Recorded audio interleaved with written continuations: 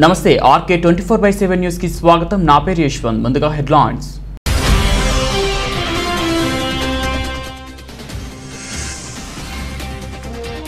ఇండోనేషియాలో దారుణం. యాభై మూడు మంది సభ్యులతో కూడిన సబ్మెరైన్ గల్లంతో.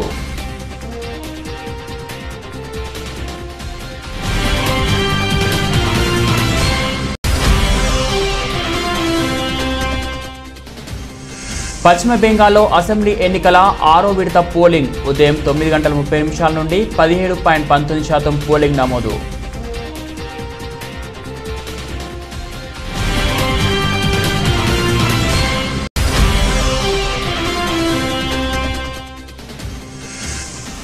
దేశంలో విజృంభిస్తున్న సెకండ్ వేవ్ కరోనా వైరస్. గడిచిన ఇరవై నాలుగు గంటల్లో కొత్తగా మూడు లక్షల పద్నాలుగు వేల ఎనిమిది వందల ముప్పై ఐదు కరోనా పాజిటివ్ కేసులు నమోదు.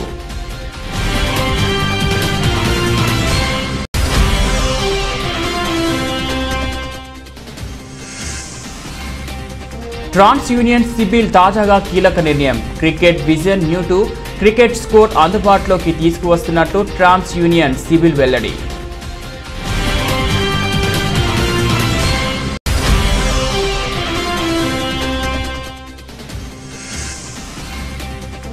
శాండల్వుడ్కు చెందిన ప్రముఖ పోస్టర్ డిజైనర్ దర్శకుడు మస్తాన్ మంగళవారం రాత్రి కరోనాతో మృతి.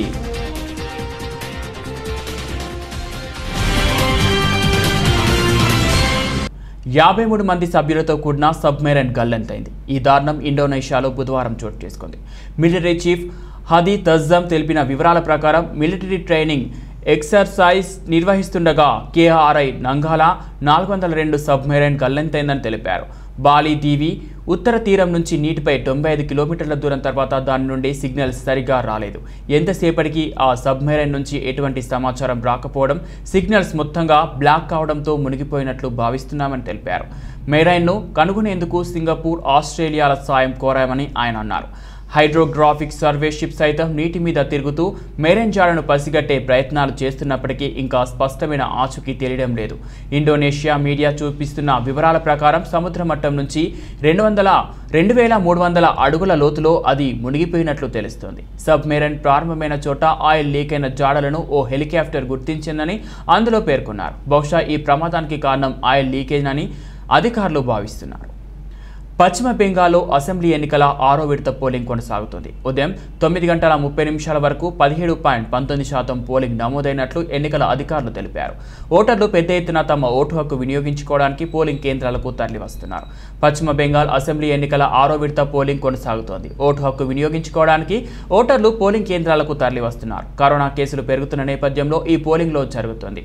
గురువారం ఉదయం ఏడు గంటలకు మొదలైన ఈ పోలింగ్ సాయంత్రం ఆరు గంటల వరకు కొనసాగుతుంది. పోలీసులు భారీ స్థాయిలో బందోబస్తు ఏర్పాటు చేశారు. సుమారు ఒక వెయ్యి డెబ్బై ఒక్క కంపెనీల కేంద్ర బలగాలను రంగంలోకి దించారు. పోలింగ్ కేంద్రాల్లో అధికారులు అన్ని ఏర్పాట్లు పూర్తి చేశారు. ఈ విడతలో నాలుగు జిల్లాల్లోని మొత్తం నలభై మూడు అసెంబ్లీ నియోజకవర్గ స్థానాల్లో మూడు వందల ఆరు మంది అభ్యర్థులు పోటీ పడుతున్నారు. దేశంలో సెకండ్ వేవ్ కరోనా వైరస్ విజృంభిస్తోంది. దేశవ్యాప్తంగా రోజువారీ కరోనా పాజిటివ్ కేసుల సంఖ్య మూడు లక్షలు దాటింది. దేశంలో గడిచిన ఇరవై నాలుగు గంటల్లో కొత్తగా మూడు లక్షల పద్నాలుగు వేల ఎనిమిది వందల ముప్పై ఐదు కరోనా పాజిటివ్ కేసులు నమోదయ్యాయి. గడిచిన ఇరవై నాలుగు గంటల్లో రెండు వేల నూట నాలుగు మంది కరోనా బాధితులు మరణించినట్లు కేంద్ర వైద్య ఆరోగ్య శాఖ గురువారం హెల్త్ బులెటిన్ విడుదల చేసింది. కరోనా నుండి ఒక లక్ష డెబ్బై ఎనిమిది వేల ఎనిమిది వందల నలభై ఒక్క మంది బాధితులు కోలుకొని వివిధ ఆసుపత్రుల నుంచి డిశ్చార్జ్ అయ్యారు. దేశంలో ఇప్పటి వరకు మొత్తం ఒక కోటి యాభై తొమ్మిది లక్షల ముప్పై వేల తొమ్మిది వందల అరవై ఐదు కరోనా కేసులు నమోదయ్యాయి. ఇప్పటి వరకు కరోనా నుంచి మొత్తం ఒక కోటి ముప్పై నాలుగు లక్షల యాభై నాలుగు వేల ఎనిమిది వందల ఎనభై మంది కోలుకున్నారు. దేశంలో ప్రస్తుతం ఇరవై రెండు లక్షల తొంభై ఒక్క వెయ్యి నాలుగు వందల ఇరవై ఎనిమిది కరోనా యాక్టివ్ కేసులు ఉన్నాయి. దేశంలో ఇప్పటి వరకు పదమూడు పాయింట్ ఇరవై మూడు కోట్ల మందికి పైగా కోవిడ్ టీకాలు అందించారు. మీరు ఇప్పటి వరకు ఎప్పుడు కూడా బ్యాంకుల నుంచి రుణాలు తీసుకోలేదా? కొత్తగా మీకు రుణాలు ఇవ్వాలంటే సిబిల్ స్కోర్ లేని కారణంగా ఆలోచిస్తున్నాయా? అయితే మీకు శుభవార్త. సాధారణంగా బ్యాంకులు సిబిల్ స్కోర్ ఆధారంగా వినియోగదారులకు రుణాలు మంజూరు చేస్తుంటాయి. అయితే మొదటిసారిగా లేదా కొత్తగా ఎవరైనా బ్యాంకు నుంచి రుణం పొందాలంటే వారికి ఎలాంటి క్రెడిట్ స్కోర్ ఉండకపోవడంతో బ్యాంకులు కాస్త వెనుకడుగు వేస్తుంటాయి. ఇలాంటి సమస్యల పరిష్కారానికి ట్రాన్స్ యూనియన్ సిబిల్ తాజాగా కీలక నిర్ణయం తీసుకుంది. ఎలాంటి క్రెడిట్ స్కోర్ లోన్ హిస్టరీ లేని వారికి గురించి అంచనా వేసేందుకు వీలుగా credit vision new to credit score అందుబాటులోకి తీసుకువస్తున్నట్లు ట్రాన్స్ యూనియన్ సిబిల్ వెల్లడించింది. ఈ ఎన్టీసీతో వినియోగదారులకు లోన్ ఇవ్వచ్చా లేదా అని నిర్ణయించడం బ్యాంకులకు ఇతర రుణ సంస్థలకు సులభతరం కానుంది. ఈ కొత్త స్కోర్ను రుణగ్రహీత గురించి అందుబాటులో ఉన్న వివిధ సమాచారం ఆధారంగా నిర్ణయించనున్నారు. లక్ష్యం రెండు వందల ఇరవై ఒకటి ఛేదనలో ఆరు ఓవర్లు ముగిసేసరికి జట్టు స్కోర్ నలభై ఐదు బై ఐదు. ఇది క్లుప్తంగా కోల్కతా నైట్ రైడర్స్ ఇన్నింగ్స్ ఆరంభం. అయితే ప్యాట్ కమిన్స్ ముప్పై నాలుగు బంతుల్లో అరవై ఆరు నాలుగు ఫోర్లు ఆరు సిక్స్లు. ఆండ్రీ రసెల్ ఇరవై రెండు బంతుల్లో యాభై నాలుగు ముప్పై మూడు ఫోర్లు ఆరు సిక్స్లు. దినేష్ కార్తిక్ ఇరవై నాలుగు బంతుల్లో నలభై నాలుగు ఫోర్లు రెండు సిక్స్లు. విధ్వంసకర ఇన్నింగ్స్లు కేకేఆర్కు విజయాన్ని ఖాయం చేసేలా కనిపించాయి. చివర్లో చెన్నై సూపర్ కింగ్స్ కాస్త కట్టుదిట్టంగా బౌలింగ్ చేయడం అదే సమయంలో చేతిలో వికెట్లు లేకపోవడంతో చిరస్మరణీయ విజయానికి కేకేఆర్ కొద్ది దూరంలో ఆగి ఓడింది. శాండిల్వుడ్కు చెందిన ప్రముఖ పోస్టర్ డిజైనర్ దర్శకుడు మస్తాన్ మంగళవారం రాత్రి కరోనాతో మృతి చెందారు. ఇటీవల కరోనా పాజిటివ్గా వచ్చింది. హేసరగట్టలోని ఓ ప్రైవేట్ ఆసుపత్రిలో చికిత్స పొందుతూ కనుమూశారు నలభై ఏళ్ళ నుండి శాండిల్వుడ్లో రెండు వేల సినిమాలకు పోస్టర్ డిజైనర్గా సేవలు అందించారు. శుక్లాం భరదరం కల్లేషి మల్లేషి సీతారా సినిమాలకు దర్శకత్వం వహించారు. మరోవైపు నటి అను ప్రభాకర్కు సైతం కరోనా పాజిటివ్గా వచ్చినట్లు ఆమె ఇన్స్టాగ్రామ్లో తెలిపారు. భర్త రఘు ముఖర్జీకి నెగిటివ్ వచ్చినట్టు తెలిపారు. భద్రాచలంలో శ్రీరామనవమి వేడుకలు బుధవారం నిడారంభరంగా జరిగాయి.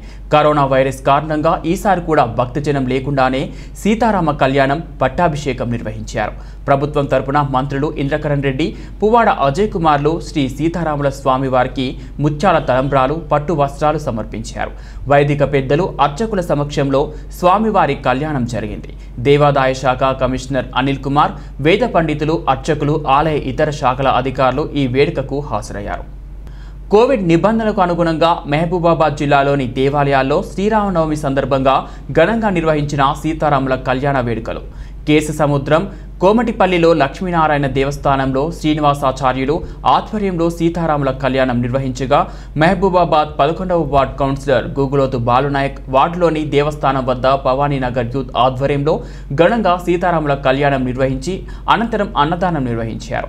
ఈ కార్యక్రమంలో రావుల మల్లేశం బానోద్ బిచ్చు బూక్యా చందు జాటోద్ క్రాంతి మాలోత్ శ్రీకాంత్ తదితరులు పాల్గొన్నారు.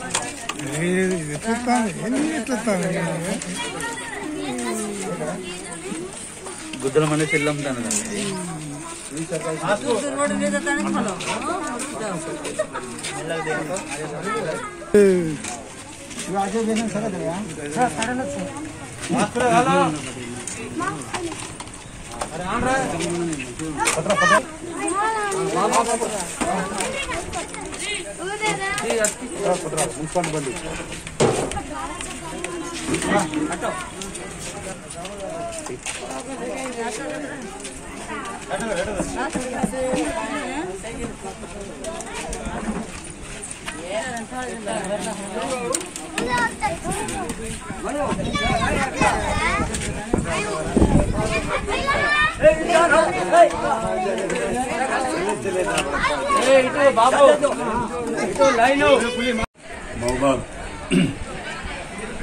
పట్టణ ప్రజలకు మరియు పదకొండవ వార్డు ప్రజలకు అందరికీ శ్రీరామనవమి శుభాకాంక్షలు తెలుపుతూ అదేవిధంగా కరోనా మహమ్మారి రెండో విడత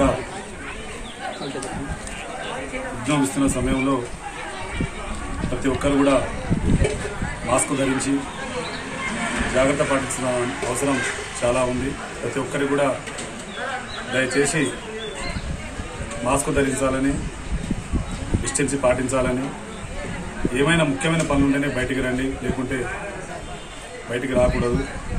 మనం బాగుంటేనే మన ఇల్లు బాగుంటుంది. మనమే లేకపోతే బాగుండదు కాబట్టి మీరందరూ మంచిగా ఉండాలని క్షేమం ఉండాలని కోరుకుంటూ ఈరోజు మా యొక్క పదకొండవ వార్డులో వెంకటేశ్వర స్వామి ఆలయము ఇక్కడ గత సంవత్సరం మేము కూడా ఇక్కడ దేవుడి కళ్యాణం ఘనంగా జరుపుకునేది. ఈ సంవత్సరం కరోనా కారణంగా సుమారు డిస్టెన్సీ పాటించుకుంటూ సుమారు ఒక ఐదు వందల ఆరు వందల మందికి అన్నదాన కార్యక్రమం ఒకటి చేయడం జరిగింది. భక్తులందరికీ ఒక విజ్ఞప్తి. ఇది పట్టణ నడిబొడ్డు ఉన్న భవానగర్ కాలనీ వెంకటేశ్వరస్వామి ఆలయం. దీన్ని వచ్చే సంవత్సరం నిర్మించాలనే ఒక సంకల్పంతో ముందుకెళ్తున్నాం. ప్రతి వ్యక్తి కూడా ప్రతి ప్రతి వ్యక్తులు కూడా మీకు భక్తి భావాలు కలిగి ఉన్నవారు ఎవరైనా కానీ మీకు తోచినంత సహాయము ఈ గుడికి చేయవచ్చు. ధనరూపం కావచ్చు దాని రూపం కావచ్చు ఏ రూపమైనా కానీ మీకు తోచిన సహాయం ఈ యొక్క వెంకటేశ్వర స్వామి టెంపుల్కు సహాయసాగర్ అందించాలని ప్రతి ఒక్క మౌలాలకు అందరికీ ధన్యవాదాలు. తీసుకుంటున్నాను శ్రీ సీతారాముల వారి కళ్యాణ మహోత్సవం కొత్తపల్లి శ్రీ ఆంజనేయ స్వామి దేవాలయంలో జరిగింది. సీతారాముల విగ్రహదాతగా అకినపెల్లి వినోద సమ్మయ్య గారులు చేయడం జరిగింది. ఈ కార్యక్రమంలో గ్రామ సర్పంచ్ పెరుమాండ్ల రఘు స్రవంతి ఎంపీటీసీ తరాల నర్సింగం లావణ్య గ్రామ పెద్దలు తాగంప కిరణ్ బాపురావు ఎలగొండ రాజేందర్ ఎలగొండ సతీష్ యాస రవి గోల్కొండ సంపత్ బొమ్మ వెంకటేష్ మరియు గ్రామ ప్రజలు అధిక సంఖ్యలో పాల్గొని శ్రీ సీతారాముల కళ్యాణ మహోత్సవంని జరిపారు. you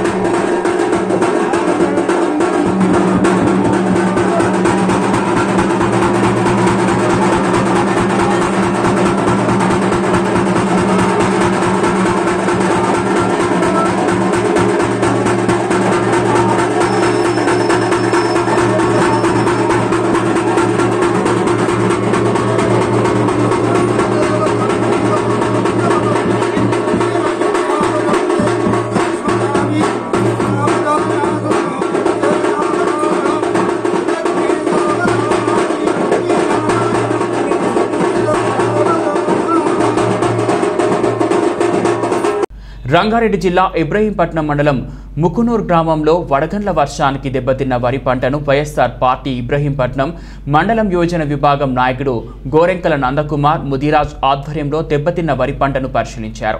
ఈ కార్యక్రమంలో రాష్ట్ర నాయకుడు మాదుగోని జంగయ్య గౌడ్ ఆదిపట్ల నగర పంచాయతీ నాయకుడు ఉడుగుల భాస్కర్ గౌడ్తో కలిసి మాట్లాడుతూ వడగండ్ల వర్షానికి ముకునూర్ గ్రామంలో దాదాపు ఐదు వందల ఎకరాల్లో పూర్తిగా వరి పంట దెబ్బతిని వరి పంట పడిపోయి వడ్లు నేలరాయాలి అన్నారు.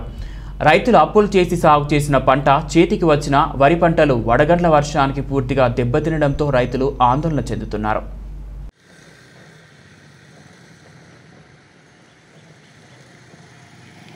ఆయన ఒక ఆరు మాసాలు కష్టపడి మరి దుని పెట్టుబడి పెట్టి మరి ఎన్నో శ్రమ మానసిక శ్రామిక శారీరక శ్రమ కోర్చి మరి ఈరోజు తినే టైంలో మరి గింజలు మరి ఈరోజు నేలరాలిపోయినటువంటి దుస్థితి.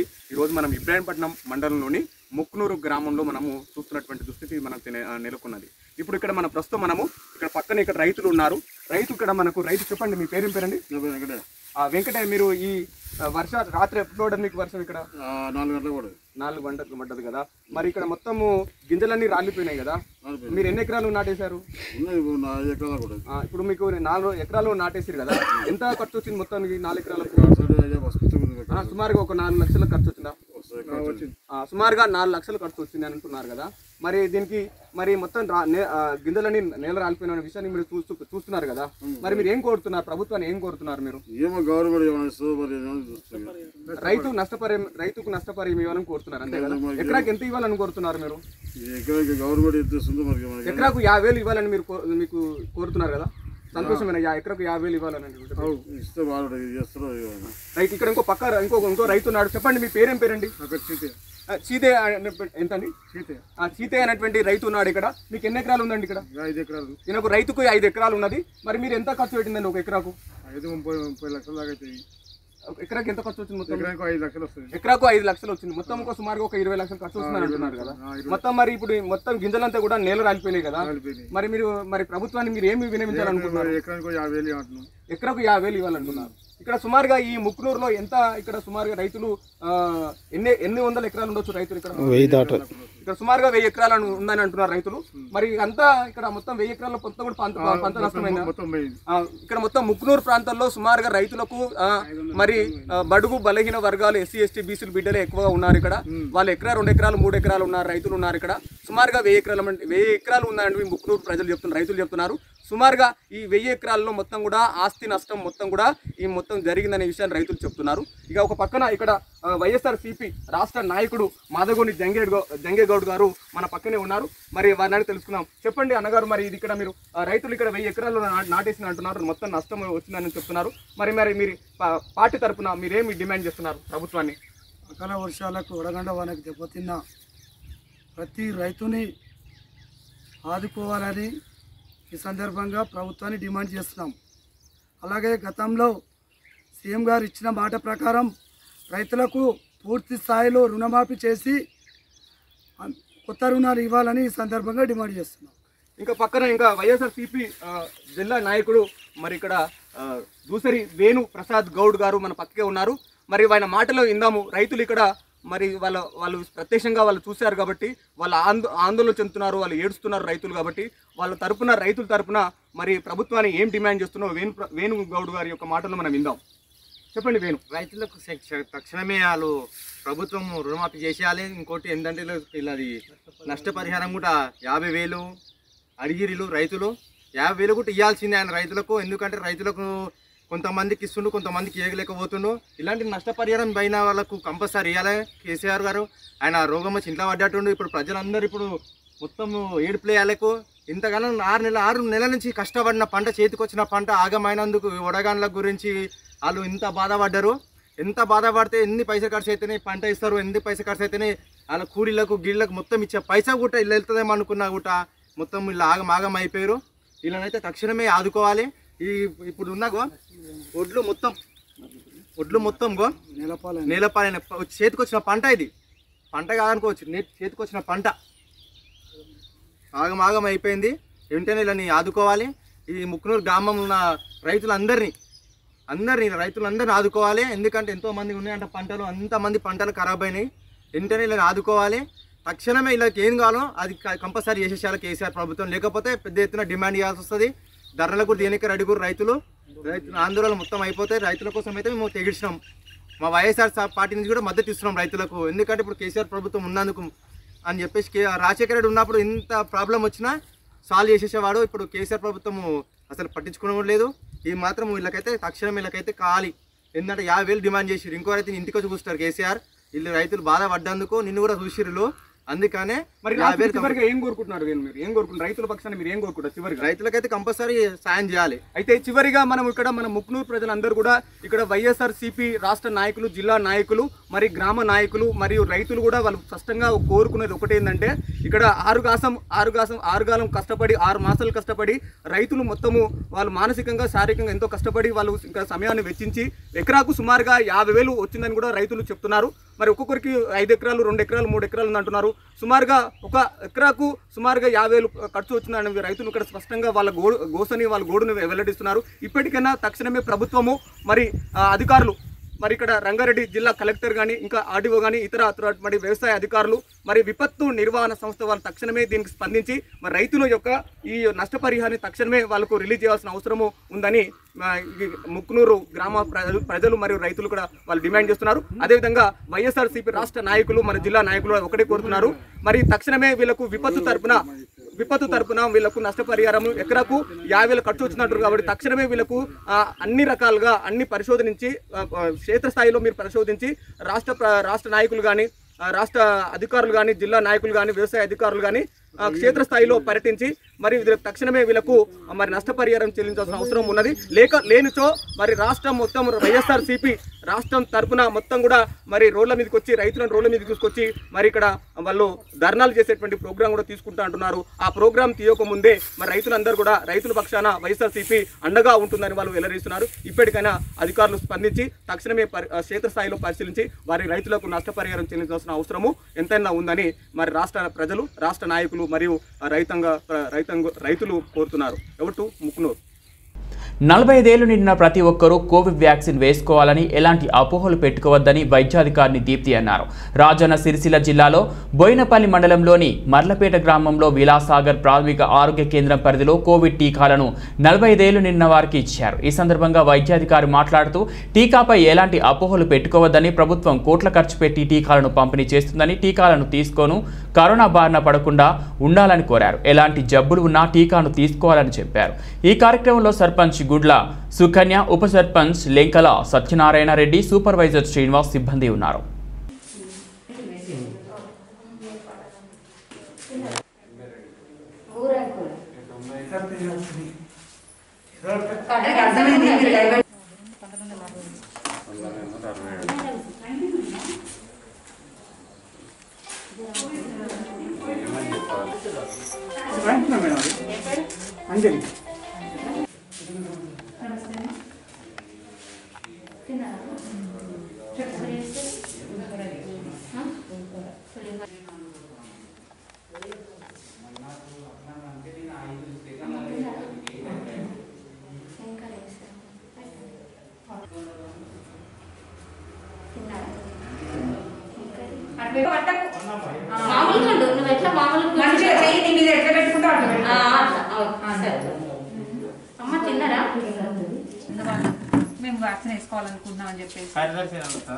అని చెప్పి సైన్ తీసుకోండి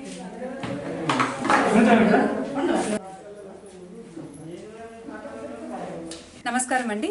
నేను doctor Deepthi PHC Vilasagar medical ఆఫీసర్ని.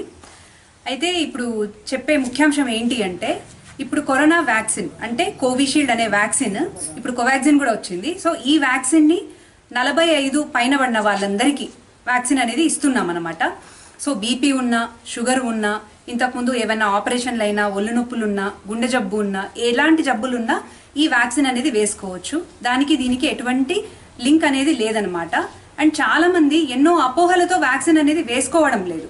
అవి ఏంటి అంటే వ్యాక్సిన్ వేసుకోవడం వల్ల మాకు ఫుల్గా జ్వరం వచ్చి మేము పడిపోతాము లేవలేకపోతాము అనేవి ఎన్నో అపోహలు తెలియని వాట్ వాట్సాప్ మెసేజ్లు వస్తుంటే వాటిని నమ్మి వీళ్ళు చాలా నెగటివ్గా ఆలోచించి వ్యాక్సిన్ కోసం ముందుకు రావట్లేదు. సో నేను ప్రజలకి ఒక విషయం క్లియర్ చేయాలనుకుంటున్నానండి. ఈ వ్యాక్సిన్ వల్ల దుష్ప్రభావాలు లేవండి. ఎందుకంటే మేమే ఎగ్జాంపుల్. మా స్టాఫ్ మేమందరం వ్యాక్సిన్ వేసుకున్నాము. ఇప్పుడు మీ ముందు నిలబడి మళ్ళీ మీకు సేవలు అందిస్తున్నాం. సో ఆ చిన్న నొప్పులు కొంచెం లిటిల్ జ్వరం అనేది ఎవరికైనా వస్తుంది. ఇప్పుడు చిన్నపిల్లలకి టీకాలు వేస్తే వస్తాయి కదండి? అలాగే వస్తుంది. ఈ చిన్న విషయం కోసం మనము అంత పెద్ద మహమ్మారి జబ్బు కరోనాని తప్పించుకునే అవకాశం ఉందంటే మనం ఖచ్చితంగా వ్యాక్సిన్ వేసుకోవాలి. గవర్నమెంట్ కోట్లు ఎక్స్పెండిచర్ పెట్టి మనకి ఈ వ్యాక్సిన్ని ఫ్రీగా మనకు అవైలబుల్ చేసింది. మొన్న ఏప్రిల్ మూడవ తేదీ స్టార్ట్ చేశాము. పిహెచ్సి విలాసాగర్లో ప్రతిరోజు వ్యాక్సిన్ అనేది వేస్తున్నాం. అయితే ఏమవుతుందంటే వయసు పైబడిన వాళ్ళు ఈ ఎండకి రాలేకపోతున్నారు ఇబ్బంది పడుతున్నారు అని చెప్పేసి గవర్నమెంట్ ఇప్పుడు కొత్త ప్రతిపాదన. ఏంటి? మీ ఊరికే వచ్చి వ్యాక్సిన్ అనేది ప్రొవైడ్ చేస్తున్నారు. సో ఇవాళ ఎక్కడ జరుగుతుందంటే ఇవాళ మర్లపేటలో జరుగుతుంది విలాసాగర్లో జరుగుతుంది. రేపు మళ్ళీ దేశాయిపల్లె జగ్గరావుపల్లె మళ్ళీ విలాసాగర్లో జరుగుతుంది. సో ప్రతిరోజు విలాసాగర్లో జరుగుతుంది. కానీ రేపో ఎల్లుండో ఇంకో కొన్ని రోజుల తర్వాత వేసుకుందామనే ఆలోచన లేకుండా ఇమీడియట్గా తక్షణం మీరు వచ్చి వ్యాక్సిన్ వేసుకోండి. మీరు కరోనాని ఒకవేళ మీకు వ్యాక్సిన్ వేసుకున్న తర్వాత కూడా కరోనా లక్షణాలు ఉన్న వ్యక్తి వల్ల మీకు కొంచెం అంటినా కూడా మీకు సివియారిటీ లేకుండా లైట్గా కోల్డ్ వచ్చి వెళ్ళిపోవడం కానీ మీకు సివియర్గా సిమ్టమ్స్ అనేవి రావు. ఈ వ్యాక్సిన్ అనేది మిమ్మల్ని ఖచ్చితంగా కాపాడుతుంది. ఈ గవర్నమెంట్ మనకు ప్రొవైడ్ చేసే ఈ టీకాని మీరు వినియోగించుకొని అందరూ సేఫ్గా ఉండాలని కోరుకుంటున్నాను చాలా థ్యాంక్స్. మా వర్కర్ నుంచి వచ్చి చాలా కష్టపడ్డారు. మర్లపేటలో దాదాపు లాస్ట్ వరకు ఫైవ్ ఫిఫ్టీ దాకా అవుతుందని సంతోషంగా ఉన్నది. మేడం చాలా థ్యాంక్స్ కోసం వల్ల భయపడద్దు. ప్రతి ఒక్కరు వ్యాక్సిన్ వేసుకోండి. దయచేసి? ఏ ఇబ్బందులు లేవు. హెడేషన్ ఏముండదు డాక్టర్ గారు చెప్పారు? ప్రతి ఒక్కరు వచ్చి వేసుకోరి. మర్లపేట గ్రామంలో కరోనా వ్యాక్సిన్ క్యాంపు పెట్టినందుకు డాక్టర్ గారికి సూపర్వైజర్లకు స్టాఫ్కి మా యొక్క ధన్యవాదాలు. ఫస్ట్ నలభై సంవత్సరాలు నిండిన వాళ్ళు ప్రతి ఒక్కరు కరోనా వ్యాక్సిన్ ఖచ్చితంగా వేసుకోవాలి. ఎందుకంటే మన కొరకు ఇంత కష్టపడి కరోనా వ్యాక్సిన్ కనిపెట్టినందుకు మనం కూడా వేసుకోవాలి. ప్రతి ఒక్కరూ భయపడకుండా కరోనా వ్యాక్సిన్ వేసుకోండి. వారు కూడా కొంచెం భయపడకుండా కరోనా వ్యాక్సిన్ వేసుకోండి. ఇవాళ నిర్మల్ జిల్లా తానూరు మండల కేంద్రమైన తానూరులో బుధవారం రామాలయ ఆలయంలో సీతారాముల కళ్యాణ మహోత్సవాన్ని ఘనంగా నిర్వహించారు. పరిమిత సంఖ్యలో భక్తులతో కోవిడ్ నిబంధనలు పాటిస్తూ కళ్యాణ మహోత్సవాన్ని నిర్వహించినట్లు అశోక్ మహారాజ్ తెలిపారు. కరోనా బారి నుండి దేశ ప్రజలను కాపాడి ప్రజలు ఆనందంగా ఉండేలా కటాక్షించాలని వేడుకున్నారు.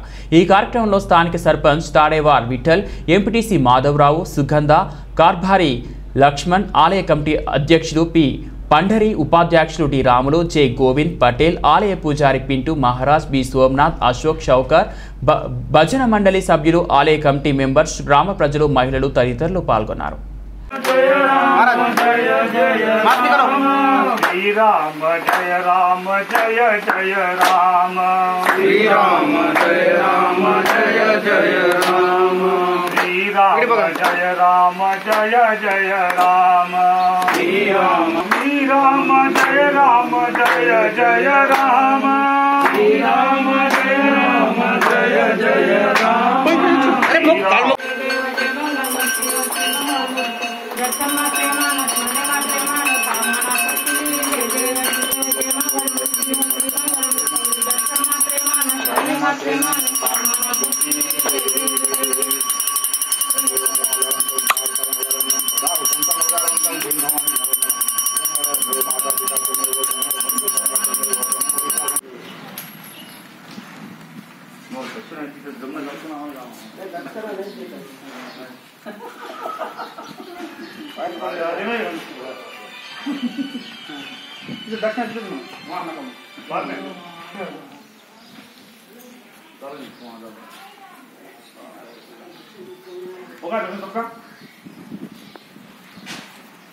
బులెటిన్ ముగించే ముందు హెడ్లైన్స్ మరోసారి.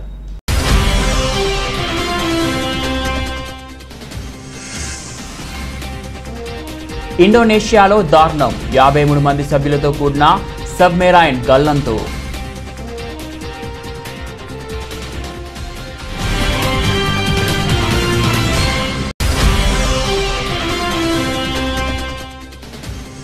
పశ్చిమ బెంగాల్లో అసెంబ్లీ ఎన్నికల ఆరో విడత పోలింగ్. ఉదయం తొమ్మిది గంటల ముప్పై నిమిషాల నుండి పదిహేడు పాయింట్ పంతొమ్మిది శాతం పోలింగ్ నమోదు.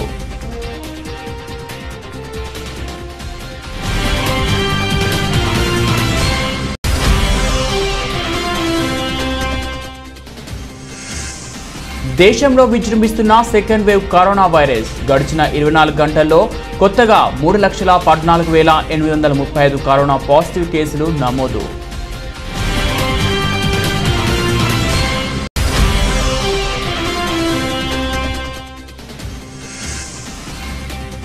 ట్రాన్స్ యూనియన్ సిబిల్ తాజాగా కీలక నిర్ణయం. Credit vision new to credit score అందుబాటులోకి తీసుకువస్తున్నట్లు ట్రాన్స్ యూనియన్ సిబిల్ వెల్లడి.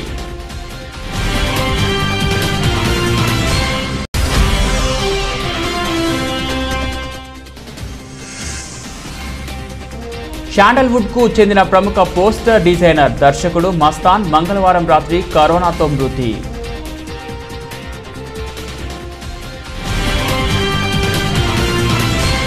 ఇవి బులెటిన్ అప్డేట్స్. మరో బులెటిన్లో మళ్ళీ కలుద్దాం. అంతవరకు సెలవు. నమస్తే.